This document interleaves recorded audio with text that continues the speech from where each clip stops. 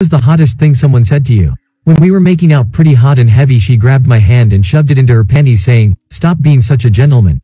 I thought we were taking it slow but she had other ideas. French girl, I grabbed her when she fell. I apologized, sorry if I hurt you. In the sexiest accent ever. Darling, I'm not made of sugar, and blew me a kiss. I accidentally knocked a female coworker's water bottle off the table. She looked me square in the eye and said, pick it up bitch. I never knew I had a sub bone in my body until that moment.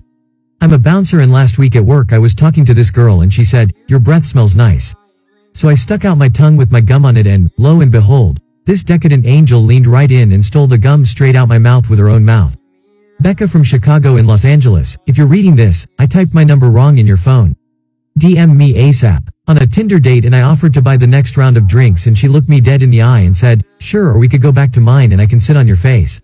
We left immediately. I had a first date that was going pretty well. It got better when she discreetly asked, what are we having for breakfast tomorrow morning?